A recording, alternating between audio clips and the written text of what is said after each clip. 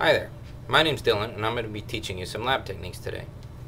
So today what we're going to be doing is we're going to be making competent E. coli cells. Uh, competent E. coli are uh, E. coli that can be transformed uh, by adding foreign DNA to them. Um, one of my previous videos was on transformation. Um, it's down here. Uh, you can check that out if you'd like. Um, so competent cells uh, take up foreign DNA the measure of how well they take up their DNA, that foreign DNA, is referred to as their competency. So, uh, super competent cells will take up uh, foreign DNA very well, um, and competent cells will take up DNA, but not quite as well as the super competent. Um, we're going to make these in-house. You can buy them from almost any biological vendor. However, we make them in-house for two reasons. One, they're very cheap to make, and two, we can actually make competent cells with our integrated plasmids in them rather than having to get competent cells, transform them with our uh, plasmid or both plasmids uh, later on down the way. So, let's get started, shall we? So making competent cells is a three-day long protocol. Um, I'm bringing you in on day two. All we've done uh, yesterday was to actually streak the cell line that we want onto a plate, let that grow overnight. Now on day two, um, it's there's not much work. The majority of the work happens on day three, but on day two, what you need to do is you need to make up your modified LB, your buffer TF2, and your buffer TF1. Uh, I've included the recipes for these uh, in the description. You want to make up 300 mLs of the buffer TF1. Um, you can make as little as uh, 10 mLs of the TF2, but I prefer to make it in 100 mLs, um, just generally because I'm making more than one uh, line of competent cells at a time, and it's just a little bit easier for your measurements to um, make it in 100 mLs. Um, you're going to want to autoclave, autoclave to sterilize your LB. You're going to want to filter sterilize your TF1 and your TF2, and you're going to stick all those in the fridge overnight. Okay, so here's all that actually happens in day two. You have a 10 ml um, of your modified LB, and you have your plate with your cells that you're going to try to make competent over here. All you're going to do, you're going to take one of your inoculation loops and grab a colony. All you need is one, remember. So just grab a nice colony there. You're then going to add it to your 10 mLs of your modified LB. Put your cap back on. Um, now this is once again using a 10 ml culture tube. Um, but you can grow it uh, in a flask, really anything that you can put it in. A 10 ml culture, that's all you need. Doesn't matter what you grow it in. Um, and then you're going to put that at 37 degrees with shaking uh, overnight. And we'll begin again tomorrow morning. Hey, Welcome back to day three of uh, making competent E. coli cells. So, we've had our cells in the incubator overnight, and they've gotten, we've gotten a nice dense culture growing, 10 mLs. So, let's get started with day three. Okay, so for day three, we need our 10 ml culture, we need our 500 mLs of LB, and we need our one liter flask to start. Um, I'm using one with the bevels, um, or the baffles, sorry, they they just grow cells faster, so it's easier for me because we're trying to get a large amount of cells. Um, so we're going to be uh, keeping an eye on cell growth using uh, optical density at 550 nanometers. So the very first thing we're going to do is we're going to take our LB, put a few mLs in a cuvette, just like so. And just pop that in to our optical density meter and record it as a blank. Just do this now, it'll save you lots of time later. Lots of headaches. Okay, so we've measured the blank. We have our autoclaved one liter flask. Just take the foil off the top. Add our LB to the flask.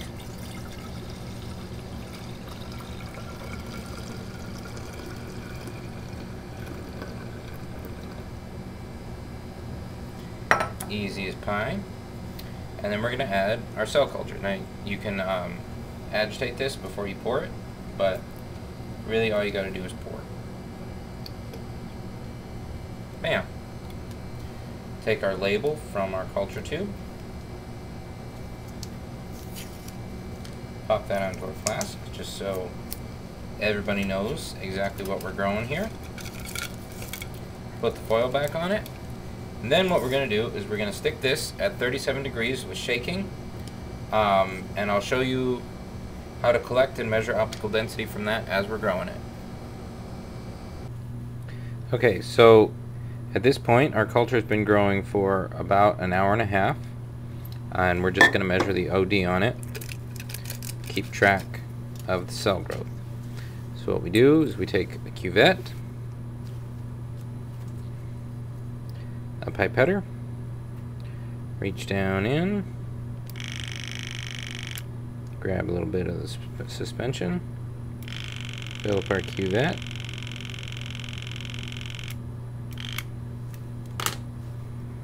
and take a read. So right now it's at 0.06, so it's still pretty low density. So we're going to keep growing it. Okay, so it's been about three and a half hours. I just took the OD and we're at 0.47. Uh, you want to get to about 0.5 without going over, so I'm going to say 0.47 is a good OD for us to have. So now what you're going to do is you're going to put your cell suspension on ice like so, for 10 minutes. Once your suspension has been cooled for 10 minutes on ice, you're going to take it out and then you're going to spin it down, so put it into a centrifuge bottle and you're going to want to spin it uh, for 5 minutes at 3000 RPMs. Okay, so we've spun this down and poured off the supernatant and if you can see um, there's this nice layer of cells here on the bottom of the bottle. So what we're going to do is resuspend those in our 300 mLs of the TF1 buffer. So all we're going to do is we're going to pour that in. You want to do this gently. So just pour it in gently. And then you want to just resuspend. And to do that, I find really the best way is to just use a pipetter, like so. Um, and you're just going to pipette up and down, just sort of resuspending the uh, cells into the solution as you pipette them. So by gently, um, I mean no vortexing, no shaking, none of that stuff. Just a nice and easy pipetting up and down. So once you've resuspended your suspension, um, then you're going to spin that down once again 3000 RPMs for 5 minutes. So once we've spun down those, uh, we're going to resuspend in 10 mLs of our TF2 buffer. Once again, very gently.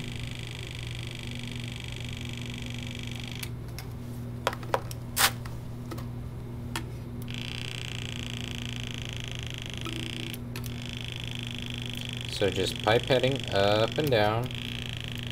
Very slow and easy. getting rid of any of the chunks that we might be finding in the cell suspension.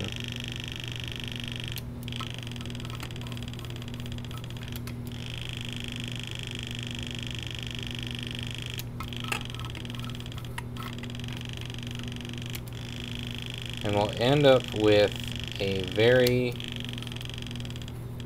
uh, dense, almost opaque solution in our TF2. So we're just going to add that all to the centrifuge tube.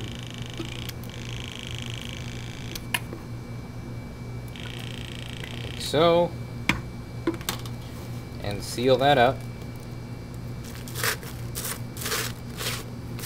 And while that, we're going to put that on ice for 15 minutes.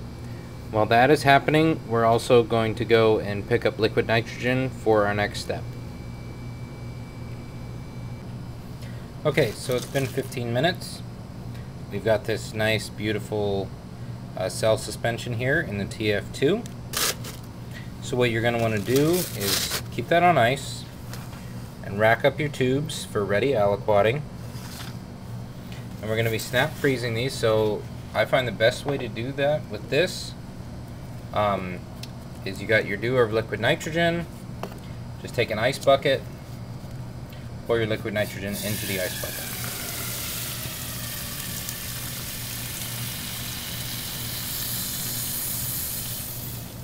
Put the lid on the ice bucket, set it to the side. I find this works really well because it gives you larger area to put your aliquots into and it makes getting them out when you're done a lot easier. So I like to use 100 uh, microliter aliquots. So I'll just agitate my cell suspension, put it on ice, and load up a few aliquots. So I, I'm only loading up a few right now because I don't want the cells to get too warm before I flash or I snap freeze them. So I generally load up eight at a time which is quite handy because there are eight to or eight uh, slots per row in this tube rack that I'm using. So I've loaded up this first one. Just cap these off. Bring our tub of liquid nitrogen back over. And just pop those in to snap freeze.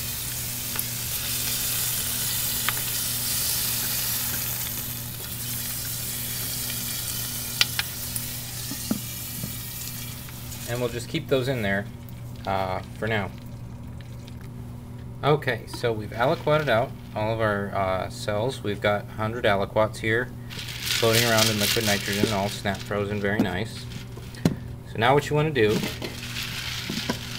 you want to get a freezer box, label it with the type of cells and when they were made. When they were made is very important because uh, cells made competent like this uh, tend to start losing their competency after about six months in the freezer at minus 80. So, label your box, get that all good to go. Then, take an empty ice bucket, pour off the liquid nitrogen into the ice bucket,